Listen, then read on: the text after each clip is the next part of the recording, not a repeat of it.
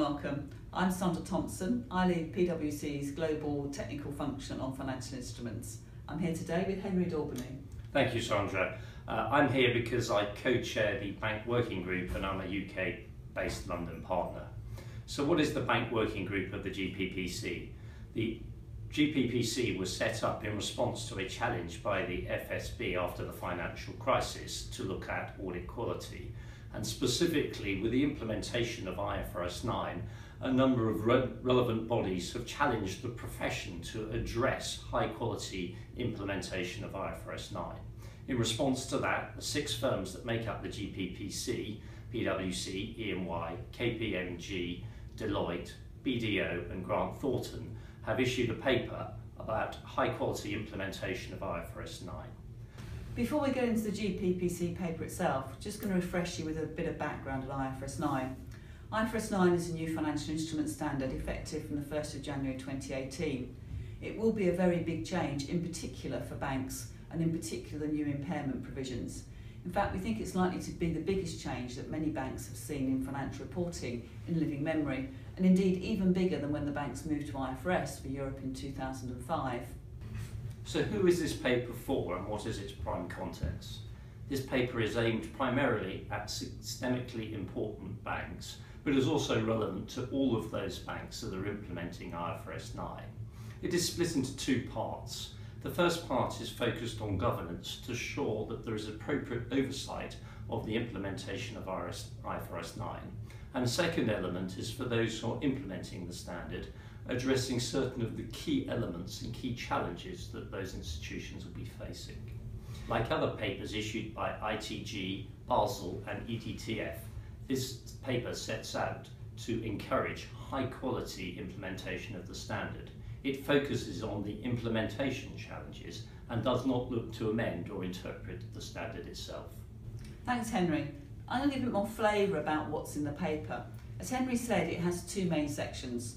So the first is aimed at those charged with governance and it covers three issues.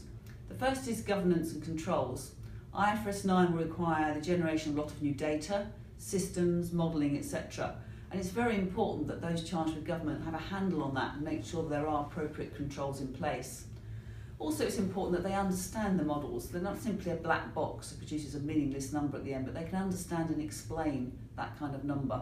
And that's the kind of issue that's discussed in that section. The paper also talks about sophistication and proportionality. When it comes to implementing IFRS 9, there is no one size that fits all.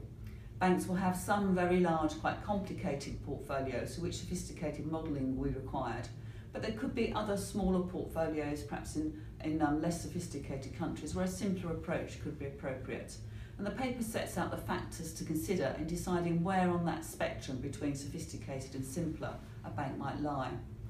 And then finally, the paper talks about transition and what needs to be done between here and, I, and the application of IFRS 9 in January 2018 time is actually very short when you look at what needs to be done, ensuring there is appropriate data quality and controls and that things like dry runs, parallel runs are done. And as Henry has said, this first section of the paper also includes 10 questions that those charged with government might want to ask. We're aware it's quite a long paper, there's almost a danger of getting lost in the woods for the trees, and these 10 questions really hone down on what are the key aspects that, for example, an audit committee should be concerned with. If I move on to part two of the paper, as Henry has said, that's actually aimed at those actually implementing IFRS 9. That's likely to be a multifunctional team of, say, risk, finance and IT.